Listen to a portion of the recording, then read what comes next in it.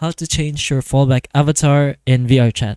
Now, you may have noticed that in your new main menu over here, uh, just go ahead to your avatars. You won't uh, see the fallback options anymore or where you can set your fallback character.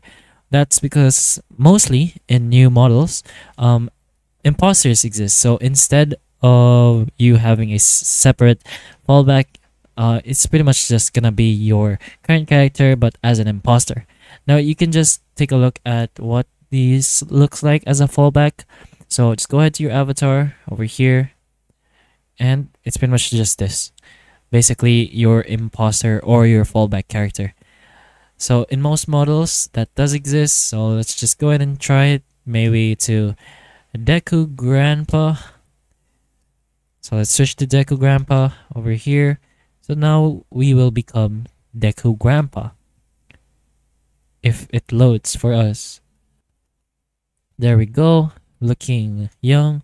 So if we go ahead and look into the avatars again, so you can see uh, pretty much every model has a fallback avatar, which is basically just your imposter. But you can turn this on if it isn't off. Maybe you don't want the robot, just go ahead to your settings over here. Uh make this bigger.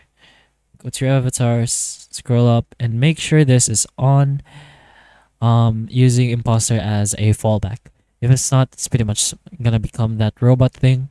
But that's pretty much how uh, technically you have your own fallback in uh, VRChat just have that option on in settings.